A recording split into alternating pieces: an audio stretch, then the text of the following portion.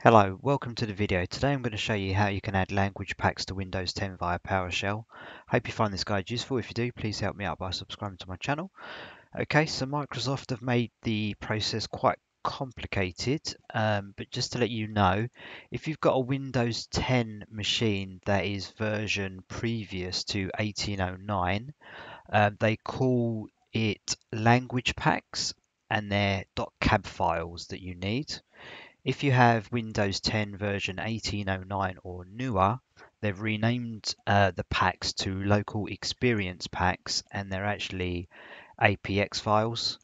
And the process is going to be different uh, depending on which uh, version of Windows you have. So the first thing you need to do is download the pack. So if you go to this URL here, I'll put it in the description so you can copy and paste it. You'll actually need um, a login and password, but you need to log into the Volume Licensing Partner Center. And if you type in Windows 10, uh, your version number, so like 1809, and then language pack, uh, download it, and it will have the cab files for every single language. Um, for a list of languages and their uh, region codes, you can come into here. So if you wanted to download Arabic, that is the region code for it. We'll need that a bit later. So let's head over to PowerShell. So if you've got Windows 10 pre version 1809, you'll need to run this command. So if you just want to run it at the desktop, um, go to a user machine or any machine, open up PowerShell and just run that command. Uh, put the path of the cab file there. So you might put it into ctemp so make sure that that path is correct. And all you need to do is just run that command. That is going to install the language pack, but it's not going to set it. I'll show you what you need to do a bit later um, on in the video.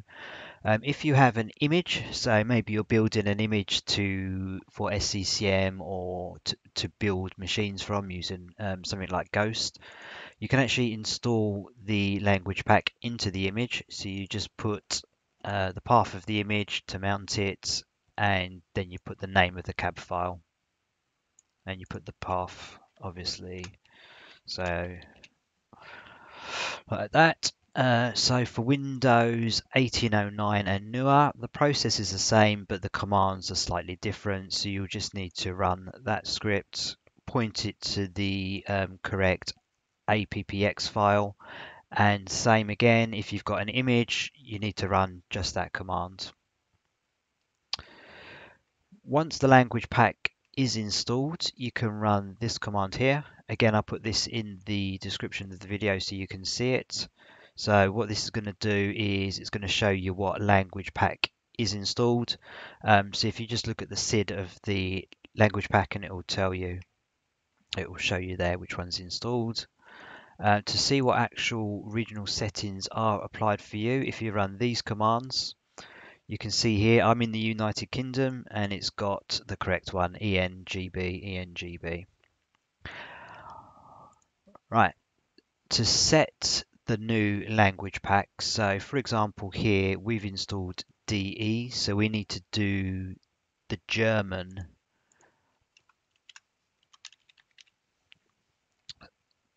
So we need to get the German code, so it's here, DEDE. Change these to, to the German language code. And we need to do two things. So this is the Windows user interface. So when you boot up Windows and it gets to the Control Alt Delete screen, this is going to be what that language pack is. So if we run that, that then is going to um, install, uh, not sorry, not install it. It's going to set the German as the default language pack for the user interface. Uh, we then need to run these commands here. Uh, what this does is it then sets uh, the German language pack as the default for any user that will log on to that machine. Um, yeah, that is obviously needed because otherwise they'll just get the default uh, language pack, which would be English United Kingdom here or typically English United States. Okay, I hope you find this guide useful. If you do, please help me out by subscribing to my channel. If you do have any questions, please post them in a comment below. If you do try these uh, steps, please let me know how you get on. I'll be very interested to hear how you, how you got on, if you managed to successfully set them or not. Uh, but yeah, thanks for watching. And I'll see you in the next video.